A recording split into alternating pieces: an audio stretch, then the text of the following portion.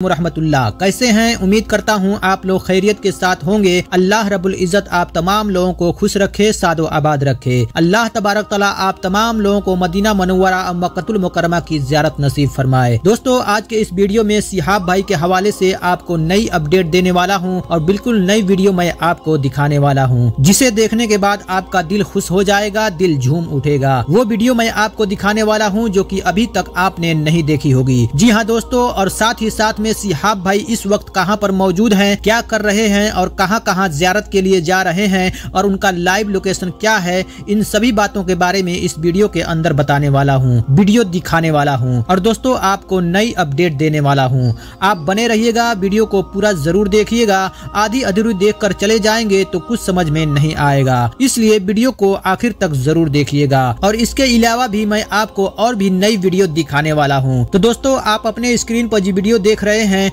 जो सिहाब भाई की एक बहुत ही खूबसूरत वीडियो आई है, जिसमें सिहाब भाई बहुत खुश नज़र आ रहे हैं। और ये कहाँ की वीडियो है, और सिहाब भाई ने यहाँ पर क्या बातें की, जो कि मलयालम भाषा में बात की है, और आगे मैं इस वीडियो में हिंदी में आपको बताने वाला हूँ कि सिहाब भाई ने क्या कहा।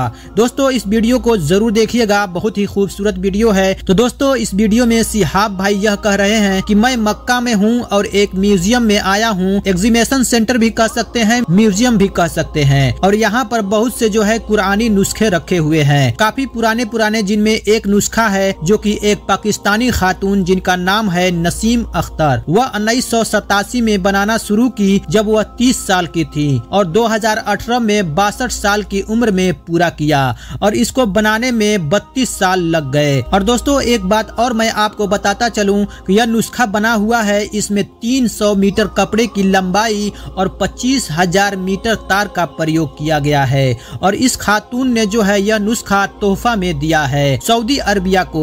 और उन्होंने यह ख्वाहिश ज़ाहिर की थी कि यह नुस्खा जो है उनका म्यूज़ियम में वहाँ पर इसको रखा जाए और यह वहाँ पर रखा हुआ है। और सिहाब भाई ने इस वीडियो में बताया है कि यहाँ पर और भी कुरान पाक है जो रखे हुए हैं, जो कि अदर कंट्री से जो लोगों के हाथ से लिखे हुए हैं, कुरान पाक के नुस्खे हैं, वह यहाँ पर मौजूद है। माशा क्या खूबसूरत नुस्खे हैं। मैं उम्मीद करता हूँ आप लोग लोगों को वीडियो पसंद आई होगी। और दोस्तों, सिहाब भाई की और भी नई वीडियो है जो मैं आगे आपको दिखाने वाला हूँ। उससे पहले दोस्तों, आपसे दरख्वास्त है कि वीडियो को लाइक करें और नए हैं तो चैनल को सब्सक्राइब करें और सिहाब भाई से मोहब्बत करते हैं, प्यार करते हैं तो कमेंट में माशा अल्लाह सुबहान अल्लाह ज़रूर लिखा करें। दोस्तों, अभी आप अपने स्क्रीन पर देख रहे हैं, ये सिहाब भाई की नई वीडियो है। सिहाब भाई एक जगह पर गए थे अपने दोस्तों के साथ तो ये भी बिल्कुल नई वीडियो है। जैसा की आप देख सकते हैं कि सिहाब भाई पहाड़ों के ऊपर गए थे और वहाँ से देख सकते हैं कितनी खूबसूरत मक्का शरीफ की व्यू दिखाई दे रही है।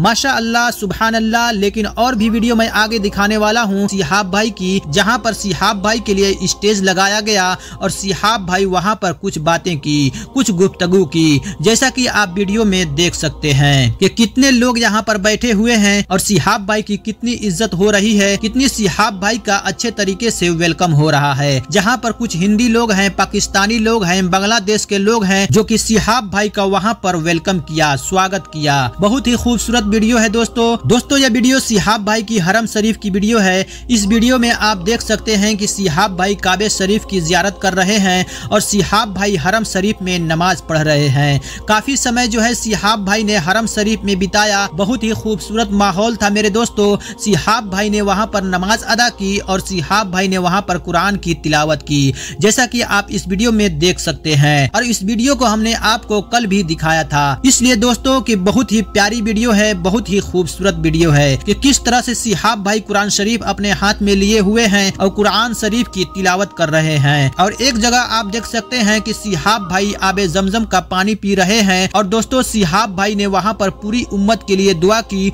पूरी हिंदुस्तान के लिए दुआ की। तो दोस्तों, सिहाब भाई नमाज़ पढ़ते हुए आए काबा के सामने और सिहाब भाई ने साथ ही साथ में कुरान शरीफ की तिलावत भी की। वहाँ पर दुआ भी की, अल्हम्दुलिल्लाह। बहुत ही खूबसूरत नज़ारा था, बहुत ही खूबसूरत मंजर था। तो दोस्तों, साथ ही साथ में ये वीडियो अभी आप देख रहे हैं कि ये सिहाब भाई की बिल्कुल नई वीडियो है। इसमें भी आपको बराबर में शेख बैठे हुए नज़र आ रहे हैं। सिहाब भाई के कुछ दोस्त हैं, डिस्कस चल रही है। और दोस्तों, मैं आपको ये भी बताने वाला हूँ की सिहाब भाई के जो कागज़ है, हज के वो मुकम्मल हुए की नहीं? और सिहाब भाई ने अभी तक तवाफ क्यूँ नहीं किया? नमाज़ नमाज़ पढ़ते हुए सिहाब भाई को हमने देख ही लिया। अल्हम्दुलिल्लाह, कुरान शरीफ पढ़ते हुए देख ही लिया, दुआएँ मांगते हुए देख ही लिया।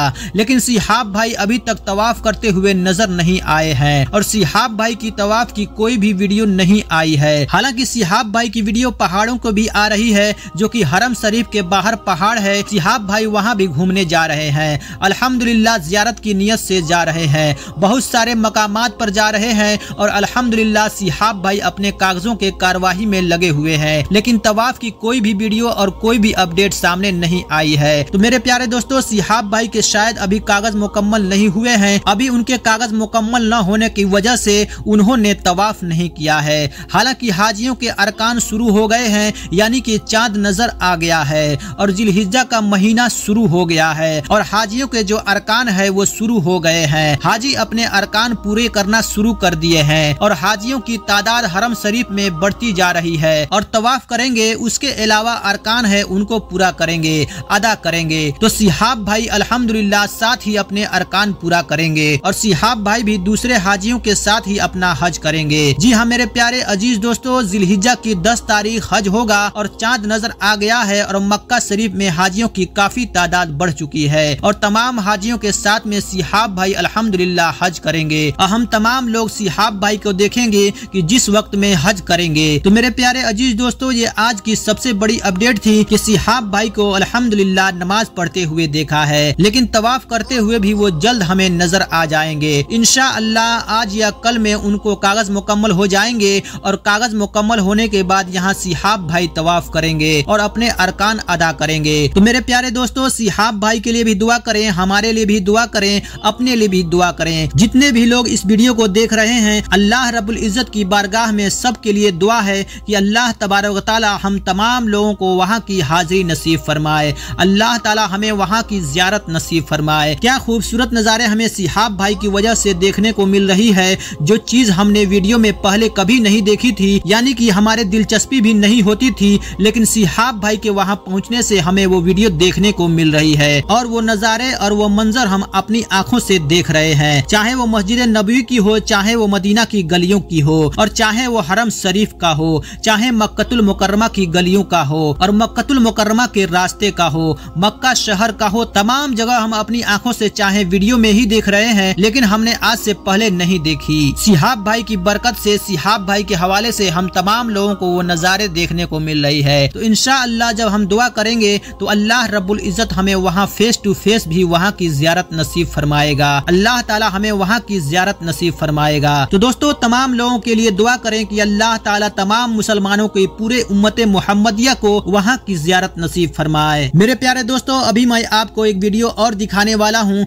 जिसके बारे में आपको बताऊँगा। कि सिहाब भाई की आपको जो वीडियो अभी देख रहे हैं, यानी आने वाली वीडियो में सिहाब भाई के हाथों में गुलदस्ता है, और ये प्यारा सा गुलदस्ता सिहाब भाई को सऊदी हुकूमत ने दिया था, जो कि सिहाब भाई का शानदार इस्तकबाल हुआ था, शानदार वेलकम हुआ था, जब वो मक्का में दाखिल हुए थे, और मक्का मुकरमा जब पहुँचे थे। तो मेरे दोस्तों ये किस बात की सिला था, किस बात का बदला था? सिहाब भाई साढ़े आठ हज़ार किलोमीटर का सफ़र तय करके तकरीबन आठ हज़ार छह सौ किलोमीटर का सफ़र तय करके और मक्कतुल मुकरमा पहुँचे हैं। मेरे प्यारे अज़ीज़ दोस्तों, के पैदल सफ़र तय करके आप देख सकते हैं, इतनी धूप में और सर्दी में ईरान के अंदर और सऊदी के अंदर, कड़ी धूप के अंदर सिहाब भाई ने सफ़र तय किया। तो मेरे प्यारे दोस्तों, बहुत ज़्यादा मुश्किल का सामना किया, बहुत सारी परेशानियों का सामना करके सिहाब भाई वहाँ तक पहुँचे हैं। अपने मंजिल को पाया है, अल्हम्दुलिल्लाह। सिहाब भाई की लोकेशन आज की यही है कि वो मक्का में मौजूद हैं, अल्हम्दुलिल्लाह सही सलामत हैं और अपने कागजों की तैयारी की मुकम्मल में लगे हुए हैं। यानी कि अपने कागजों को मुकम्मल कराने में लगे हुए हैं। और अल्लाह आज हो जाए या कल हो जाए, उनके कागज़ मुकम्मल हो जाएँगे। फिर वो तवाफ करेंगे और अल्हम्दुलिल्लाह वहाँ पर सिहाब भाई केरला के जो कुछ लोग वहाँ रहते हैं, उनके साथ कयाम फरमा रहे हैं। वही खा पी रहे हैं। कोई दिक्कत, कोई परेशानी नहीं है। जो हमें जानकारी मिल रही है और जहाँ तक हमने जानने की कोशिश की है तो अल्हम्दुलिल्लाह सिहाब भाई सही सलामत हैं। तो दोस्तों, ये तो सिहाब भाई की आज की लोकेशन थी और सिहाब भाई के हवाले से जो हमने आपको अपडेट दी है और वीडियो सिहाब भाई की हमने दिखाई है इंशा अल्लाह सिहाब भाई की नई वीडियो के साथ आपसे मुलाकात करते हैं और नई वीडियो आपको दिखाते हैं और नई अपडेट देते हैं। अब बात कर लेते हैं नौसाद भाई के, जो कि प्यारे दोस्तों, नौसाद भाई भी बिल्कुल सिहाब भाई की तरह पैदल हज के लिए निकले हुए हैं। अल्हम्दुलिल्लाह, और जब से अपने घर से निकले हैं 2000 किलोमीटर का तकरीबन उन्होंने पैदल सफ़र तय कर लिया है, और वह इस वक्त में राजस्थान स्टेट से बाहर निकल चुके हैं। जयपुर और दिल्ली हाईवे रोड जो है, वो उस पर सफ़र तय कर रहे हैं। अल्हम्दुलिल्लाह, बहुत ही जल्द वो दिल्ली पहुँचने वाले हैं, और दिल्ली पहुँचने ही नौसाद भाई एम्बेसी जाएँगे। जिस जिस कंट्री से उनको गुजरना है, उस कंट्री की एम्बेसी जाएँगे, और वहाँ की जानकारी हासिल करेंगे, और अपने आगे सफ़र की तैयारी करेंगे और कागजों के कार्यवाही को पूरी करेंगे और फिर वो दिल्ली से अपना सफ़र शुरू करेंगे जब उनके कागजों की तैयारी मुकम्मल हो जाएगी। बताया जा रहा है नौसाद भाई के हवाले से कि अभी उनके पास कोई वीज़ा मौजूद नहीं है और मौजूद न होने की वजह से नौसाद भाई ने एक इंटरव्यू में आकर के यह कहा था कि मैं जिस मुल्क के करीब जाऊँगा, उससे मुकम्मल वीज़ा में इंशा अल्लाह ताला ले लूँगा। क्योंकि वो टूरिस्ट वीज़ा मिलता है, तीन महीने का तो पहले लेने का कोई फ़ायदा नहीं है। जब मैं मुल्क के करीब जाऊँगा तो मैं वीज़ा ले लूँगा और कागजों को मुकम्मल कराएँगे और उसके बाद अपना सफ़र तय करेंगे। तो दोस्तों, नौसाद भाई के लिए भी दुआ करें, सिहाब भाई के लिए भी दुआ करें। तो दोस्तों, आने वाली वीडियो तक आप तमाम लोगों का तहे दिल से शुक्रिया। मिलते हैं नेक्स्ट वीडियो में नई अपडेट के साथ। तब तक के लिए वालेकुम खुदा हाफिज।